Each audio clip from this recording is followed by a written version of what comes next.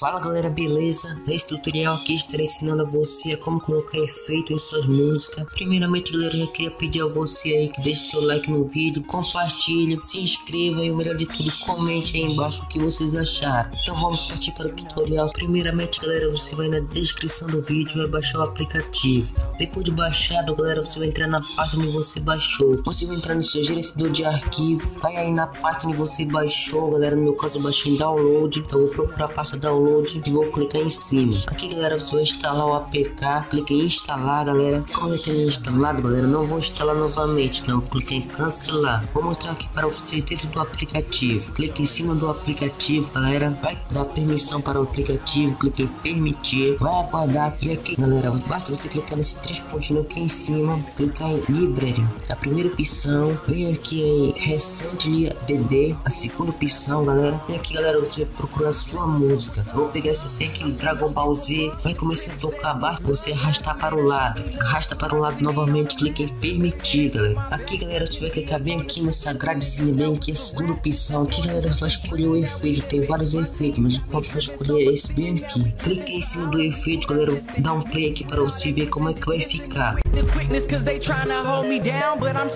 with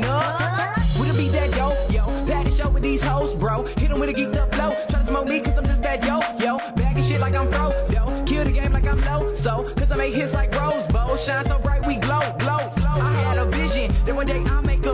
Como vocês podem ver, galera, ficou muito bacana. E para você estar salvando, galera, basta você clicar aqui nessa quarta opção aqui de baixo, galera, onde tem essa setinha. Clica aqui, galera, e aqui, galera, basta você vir aqui embaixo, clicar em esporte. Não mexe nada, galera. Clica em esporte e aqui, galera, vai começar a salvar. Eu vou dar um cancelar, galera. Então, galera, foi esse tutorial de hoje. Se você gostou, deixe seu like no vídeo, compartilha, comenta e se inscreva no canal. Então, falou, fiquem todos com Deus. Falou, até o próximo vídeo.